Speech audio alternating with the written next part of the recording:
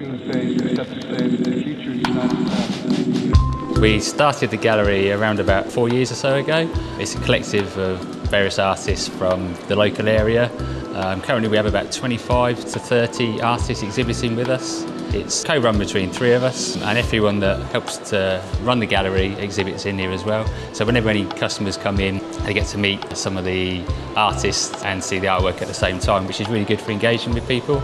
It's a very deliberately eclectic mixture of artwork and we, and we do say to people coming in, you are not going to like everything, like if you go to a restaurant, yeah. and that's what we want. You're not meant to like everything, but there should be something for everybody, for every taste, and hopefully every budget.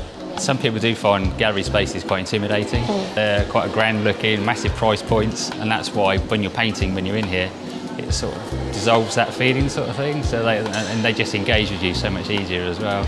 Even if you're not going to buy, you can just go and browse, which is what we encourage in here. It is just building that rapport with people. Some people never buy at all and they're in all the time on a regular basis and become friends Yeah. with us in the gallery, Yeah. don't they? So that works really well. I've loved seeing each artist grow, and, and I include myself in that.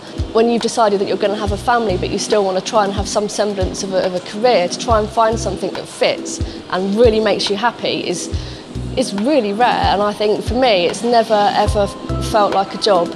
I feel so blessed. I feel so excited whenever I walk in here and see what new things people have been working on. It still feels new and exciting, and I'm just really grateful to be part of it.